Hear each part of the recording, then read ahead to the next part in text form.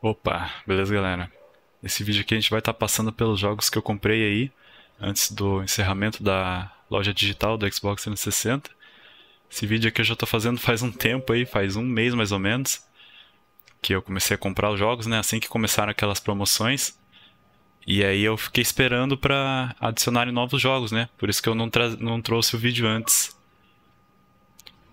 E aqui eu tô narrando aqui por cima, né? Já deixei tudo gravado aí. E vou estar tá passando aqui com vocês. Na dash aqui do Xbox, né? Eu revirei a loja aqui do Xbox atrás dos jogos mais importantes aí para comprar, né? Até depois eu vi um site que a galera fez numa tabela assim com todos os jogos digitais que tinha disponível para compra. E aí eles colocavam assim se o jogo era retrocompatível, é, colocava se era jogo de Kinect, tudo bem organizadinho, né? Aí tinha lá é, jogos digitais apenas e jogos é, não retrocompatíveis. Aí eu. Todos esses jogos que estavam lá, eu, eu olhei todos, né? E escolhi os, é, os que eu mais tenho interesse ali, né? Também um critério pessoal meu que jogos que não tem versão para PC, né? Ou que são exclusivos de 360 e o primeiro deles é esse Spare Parts aí, que é um jogo que só tem no PlayStation 3 e no Xbox 360. Esse tá bem baratinho ali, tá dois reais.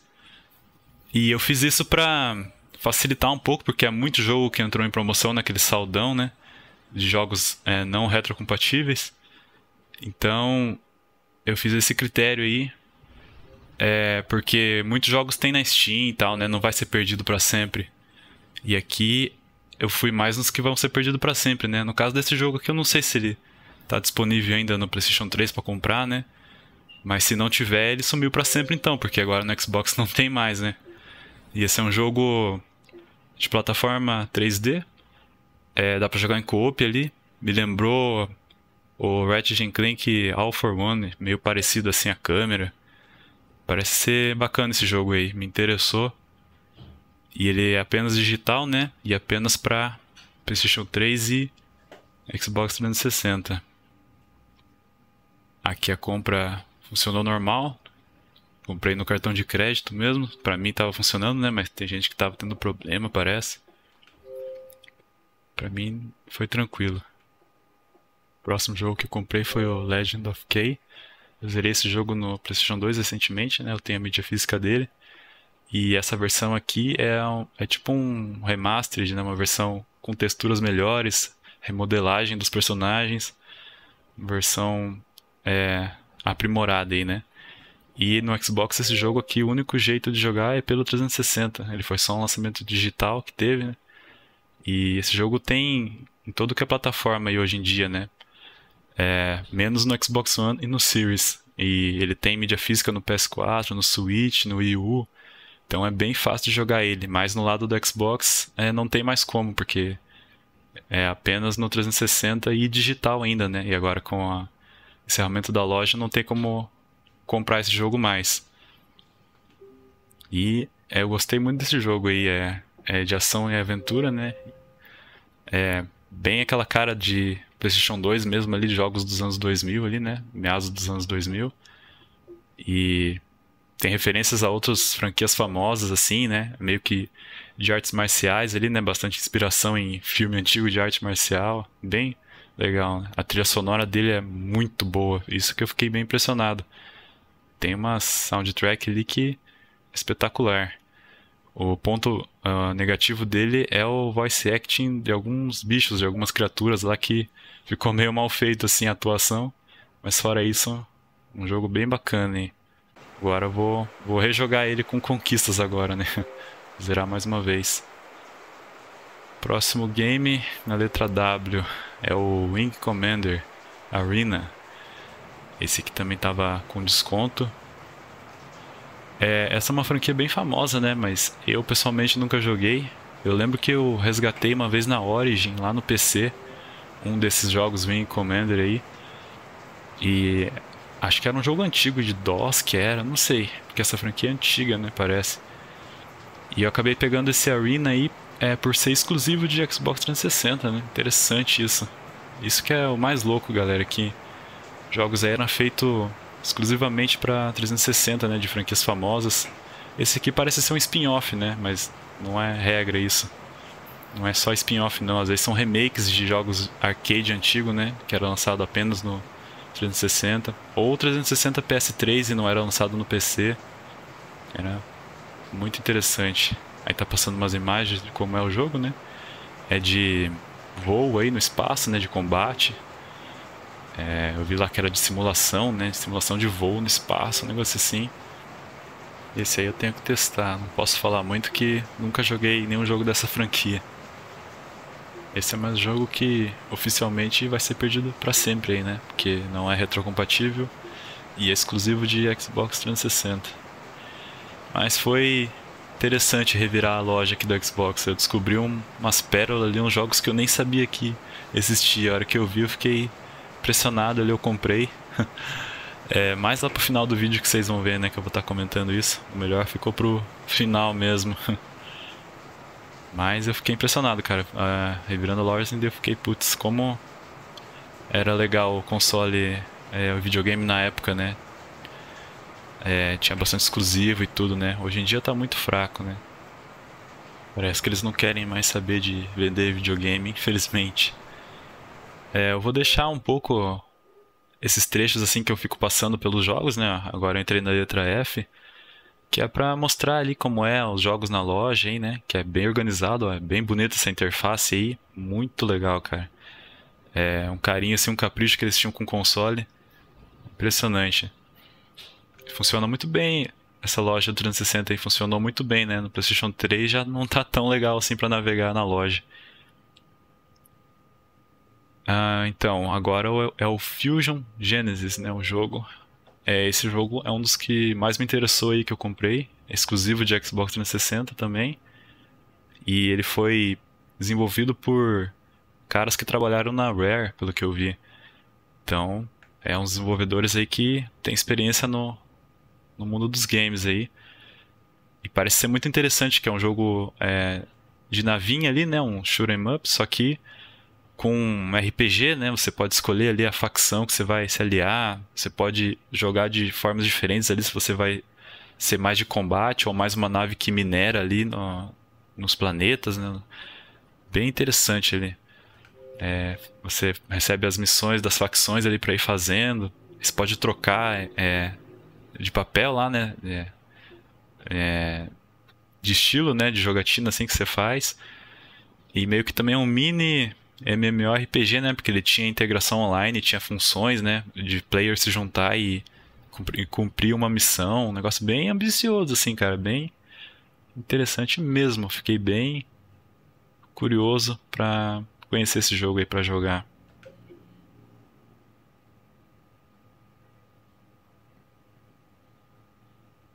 Esse aqui a compra também passou tranquila. Demora um pouquinho ali, mas mas aceitou.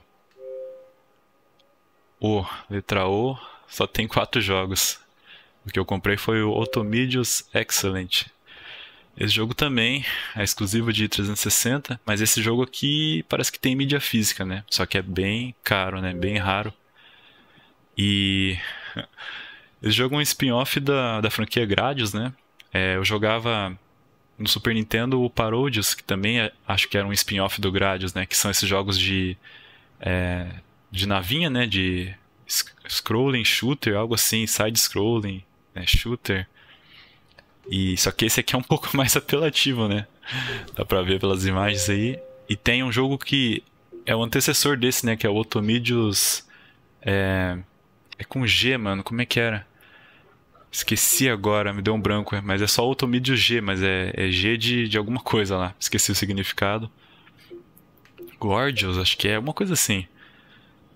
Aí, esse aqui é. Mas não tem na loja, né? Só tem essa sequência aqui. Aqui eu fui lesado, galera, porque eu tinha saldo na carteira aqui na, da Microsoft, né? E aí eu tinha que completar o dinheiro com, com o cartão, né? E aí eu coloquei ele sim, quero completar o, o, o dinheiro com o cartão, né? Só que aí eu fui cobrado o preço cheio no cartão, não, não fizeram o que tava dizendo ali. É um bug aí na, na loja. Tava meio bugado já na, é, nessas alturas do campeonato, né? A loja do 360. E esse ali foi mais um bug, esse negócio do saldo. Aqui o próximo é o South Park Tenorman's Revenge, né? Tem dois jogos do South Park exclusivo pro 360, cara. Que coisa doida, né? não sabia disso. Só que na loja BR só tem esse Tenorman Revenge, né? Que é um de plataforma.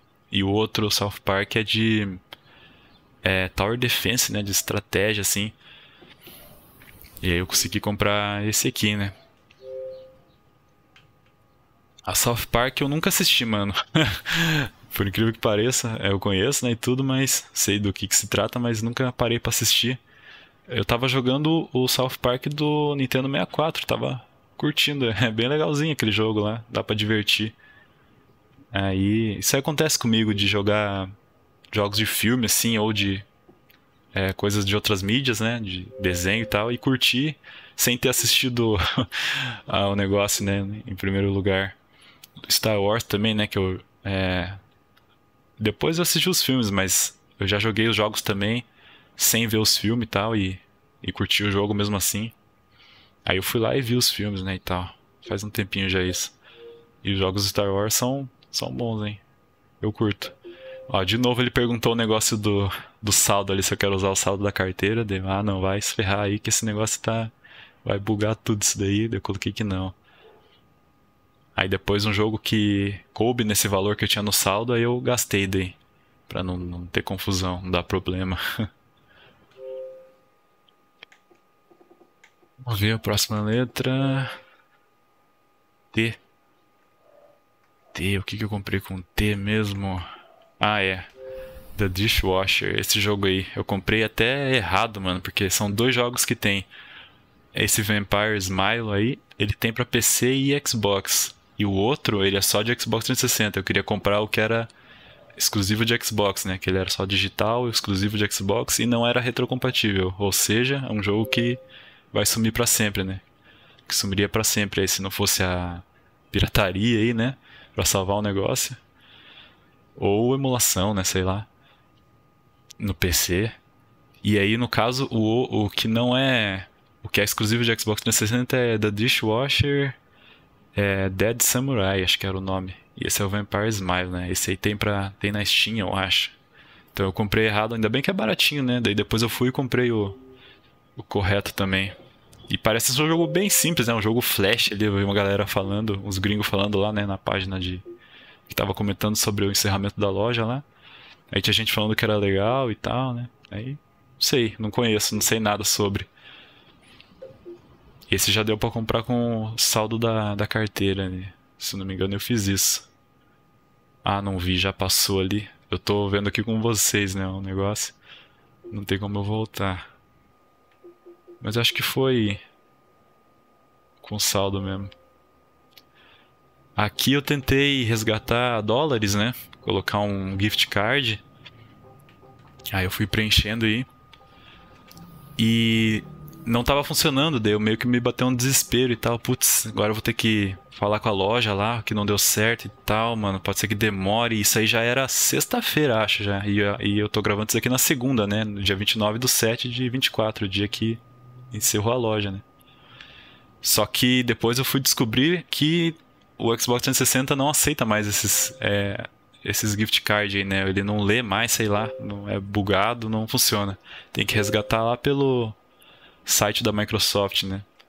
E aí eu fiquei com dúvida porque tem Microsoft Gift Card, Xbox Gift Card. Aí eu fiquei pensando, será que se eu resgatar vai aparecer o saldo no 360? Nossa, me deu muita dúvida. Mas aí eu arrisquei. Eu pesquisei, né? Vi lá falando que dava certo, daí eu, aí eu fiz isso. E daí deu certo. Próximo jogo aqui é o Burnout Crash, né? Esse que é o nome. É, Franquia bem famosa também, né? É, na infância eu jogava o Burnout Dominator, esse que eu jogava quando era criança lá no PlayStation 2. Joguei muito aquele jogo. Mas o mais popular eu acho que é o 3, né? E o Revenge. E era muito bom, mano. E esse aqui é bem diferente, né? Visão de. Visão aérea aí, né? Visão de cima. Esse jogo aqui é só de Xbox 360 e PlayStation 3. Parece que tem para iOS também, mas não tem para PC. Então é um jogo que eu fiz questão de comprar aí. E é, tava bem barato, né? 59 cents. Então, 49 cents, né, na verdade. Então eu peguei ele aí. É um jogo que também pode ser que suma para sempre aí. É, tem que ver no PlayStation 3 lá se ainda tem para comprar, né? Não, não cheguei a ver. Aí deu um bug ali, não, não, não passou a compra, mas depois eu mexi no e-mail, mexi na conexão de internet e nas configurações de rede, né? Aí deu certo daí. Aí eu consegui comprar. Próximo é a letra S. Agora acho que é DLC. É, duas DLCs que eu comprei. Que foi pro. A primeira foi pro Sonic da Hedgehog, né? O Sonic 2006 aí, né? Conhecido como Sonic 2006. Ou Sonic 06, pros gringo. E essas DLCs não tem, né, no, no Brasil. Infelizmente, é muito chato isso. Tem que comprar em dólar. E tem várias DLCs ali de modo very hard, é, DLC de boss attack. Aí eu pensei muito em comprar tudo, mas acabei desistindo e peguei só a mais importante, que é essa DLC Team Attack Amigo, né? Pra mim, pelo menos, é mais importante, porque você consegue jogar mais com os outros personagens, né? Com Tails, com a Blaze, Knuckles, Omega. É, e no jogo base você não consegue, você não joga muito com eles, né? Aí eu achei bem interessante aquela DLC ali e comprei. É o meu guilty pleasure, né? O Sonic 06. É, eu curto muito. E outra DLC aqui foi pro Sonic Unleashed, que também que tem uma coisa bizarra aí que uma DLC desse jogo não tem no, no Brasil, só as outras cinco, né? Acho que são seis. Aí cinco tem na Live BR e uma não tem, que é a DLC Oloska. Essa Oloska Adventure Pack aí. Esse aí é só na live americana. E aí eu vim aqui e comprei. Não sei por que, mano. Por que que 4 DLC tem e uma não tem? Não sei, cara. Não consegui achar uma explicação para isso. É muito ruim, né? Porque a gente quer completar ali ó, o conteúdo do jogo e não consegue daí. Mas eu já garanti isso, né? Porque agora foi perdido para sempre, não tem como comprar mais essa DLC. Mas todas as outras cinco ainda tem como comprar pelo Xbox One lá, Series, e usar no 360, né? Pelo histórico de download. E esse jogo, mano, eu adoro esse jogo. É minha platina favorita. Eu vou refazer a platina, né? Que seria o meu G. Vou fazer tudo de novo no Xbox, que eu curti demais. Esse jogo, sim, cara, é o ápice ali do, do Sonic 3D de capricho ali, de jogo AAA em gráfico, né? Em variedade de gameplay, é, cutscene, tudo muito no ápice ali, sabe? É, bem ambicioso, bem legal mesmo. É, acho que é um jogo mais de alto orçamento, assim, mais AAA do Sonic é esse daí. Curto demais, cara. Nossa, como foi legal fazer a platina dele. Até tem a versão japonesa, né, que é o Sonic World Adventure, que tem como fazer mais uma platina, né, no, no PlayStation 3. Esse é um bagulho que eu também eu eu quero caçar, queria caçar. Olha o gráfico, cara. Nossa, o jogo é bem bonito. Muito legal mesmo.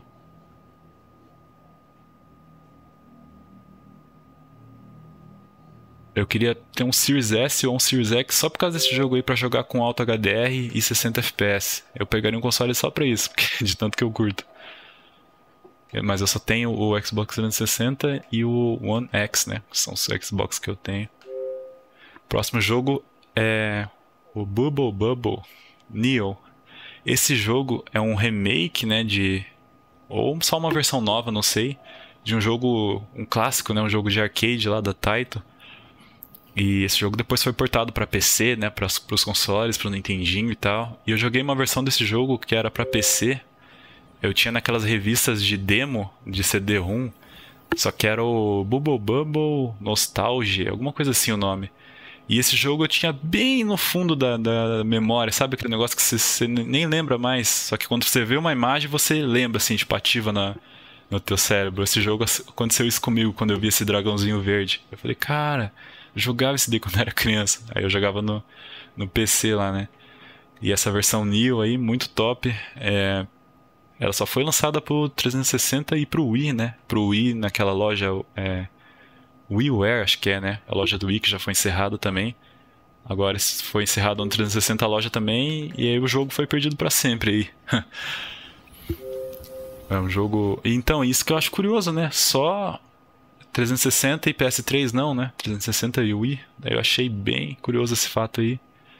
E comprei na hora e também porque é algo que também já tenho muito interesse em jogar, então uniu a útil ao agradável aí.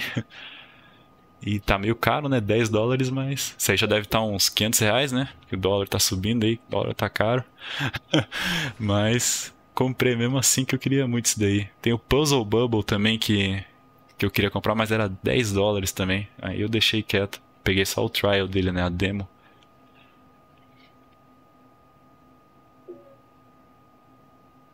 Mas essa é uma das pérolas aí que eu tava falando. E a última pérola é, vai estar tá aparecendo agora aí, que é no V, que é o Vigilante 8 Arcade. Cara, eu não sabia que existia isso. Essa versão, tipo um, com gráficos atualizados, né? Um remake do Vigilante 8, né? Que é um jogo que jogava muito no PlayStation 1, né? É um clássico lá do, do Play 1. E eu nem sabia que existia essa versão é, arcade aí. E o mais curioso, mano, que me espanta é exclusivo de Xbox 360, cara. Como assim, tipo? Isso sim que é fazer o console querer, querer fazer o console bombar, né, mano? Tem que, tinha que garantir essas exclusividades mesmo aí que. Pô, negócio sensacional aí. Queria que eles fizessem mais esse tipo de coisa hoje em dia aí nos consoles, no, é, no Xbox Series, né, no PlayStation 5 também, garantir mais essas exclusividades aí. Que isso aí é. É top, hein? Infelizmente ele tem uma DLC ali que eu não consegui comprar, ou que tem alguma coisa o nome. Acho que adiciona mapa e personagem. Eu só consegui comprar o jogo base mesmo. Mas era isso, já vai acabar aqui o, o vídeo, eu tô vendo aqui no preview. É, espero que vocês tenham curtido aí. Acho que foi bem é, útil esse vídeo aí, bem interessante por causa dessa questão de jogos que vão sumir para sempre, né? Jogos que entraram em extinção aí, né? Que não tem como comprar mais. É algo que entrou para a história dos games aí, dos mundos games, é encerramento dessas lojas digital aí, né? Essa data de hoje, 29 do 7 de 24, encerramento da do Xbox Live, né, da Marketplace. Mas é isso aí, galera. Falou.